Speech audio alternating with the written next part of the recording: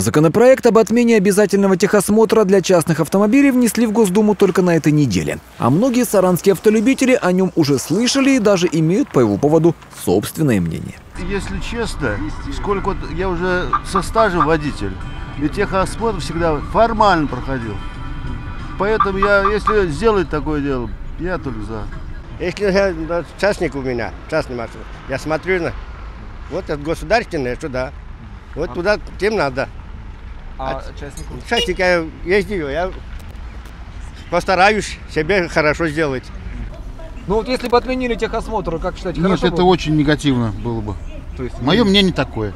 вы считаете, что техосмотр все-таки должен быть? Обязательно. И не как сейчас проводится, в большинстве случаев, а настоящий. А вот с этим-то как раз и проблема. Наш собеседник говорит, сам проходил техосмотр как положено. Однако знает людей, которые соответствующий документ получают даже не заезжая на спецплощадку. В автосервисах к таким техосмотрам для галочки относятся соответствующим образом. Особого смысла в них не видят. Зачастую автовладельцы проходят а, техосмотр чисто формально. Поэтому я не знаю, ведется такая статистика или нет, э, где, которая показывает, э, какой процент владельцев автомобилей проходит реально техосмотр. Вот если хотя бы один из десяти, допустим, э, не проходит техосмотр и ездит по дорогам нашей страны, то смысла уже нет. Так что проще, возможно, упразднить то, что нельзя проконтролировать.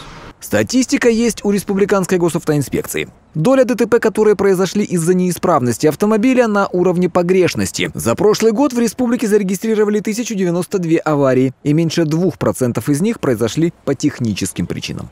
По причине технической неисправности транспортных средств в 2018 году на территории Республики Мордовия было зарегистрировано 19 дорожно-транспортных происшествий. Причем 9 машин участников таких ДТП а, были зарегистрированы на юридические лица и, соответственно, 10 машин на физические.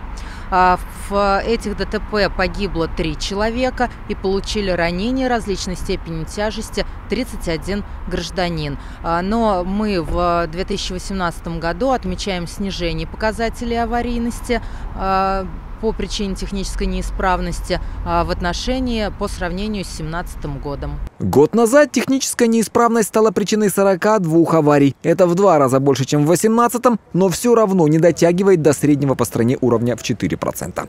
Так что единственной пострадавшей стороной в случае принятия закона выглядят те, кто за проведение техосмотров получает деньги. А исправность транспортных средств и так давно находится на совести их владельцев. Действительно, если вы заинтересованы э, в безопасности и хотите э, ездить на безопасном автомобиле, тогда, конечно, нужно проходить техосмотр самостоятельно и воз- возлагаясь на здравый смысл.